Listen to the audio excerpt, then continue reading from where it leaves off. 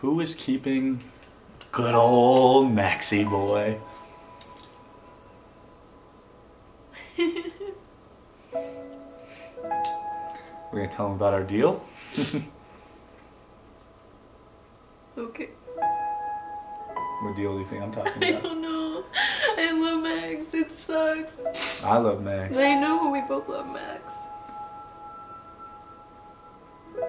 Let's let him choose right now. uh, the deal's always been whoever gets a house first, so he could have like a big backyard.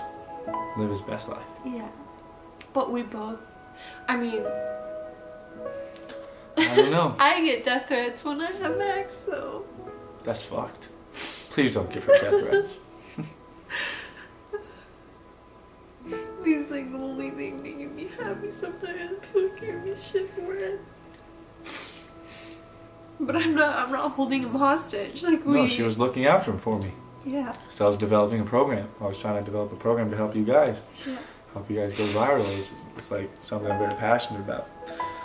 And because I was focusing so much on it, I knew I couldn't put the energy that she could put into Max. And I want Max to have the best life he could have. I care too much about that dog, man. so I told her to take him mm-hmm. so that I could focus and I could get this project done. And that Max could have a good life at the same time. So that's how committed I was to the project and how much I love Max. Yeah. You're Max's daddy. I'm Maxie's mama. Hmm. I guess we got split custody. Yeah. Welcome to our big, dysfunctional family. this is going great. I'm really, really excited. I I didn't think I was gonna cry. 12 straight videos, I was crying.